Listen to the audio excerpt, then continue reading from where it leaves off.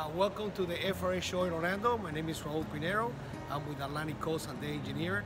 And we're going to present you here a brand new product that we have. So basically, typically we've been building insulated rooms. Now we decide to search a product called magnesium oxide, which is this product right here. It's uh, very strong.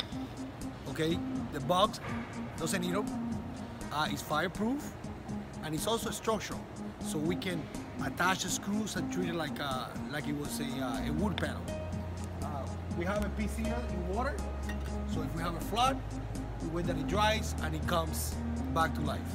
So what do we decide to do? We decide to create, come, come close.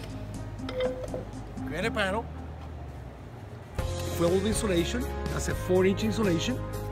Okay, two sheets of half inch MGO panels, four by 10, and inside the panel, we'll be able to locate the all your electricals and all your plumbing connections for your interior restaurant kitchen panels.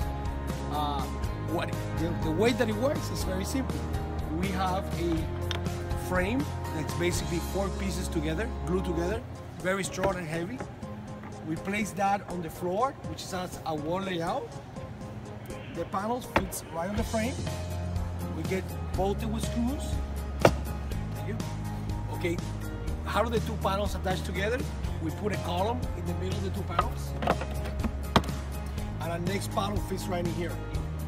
So we can actually pre-build your restaurant or your hotel kitchens and uh, ship it into your job site and uh, do the project in half the time. Thank you.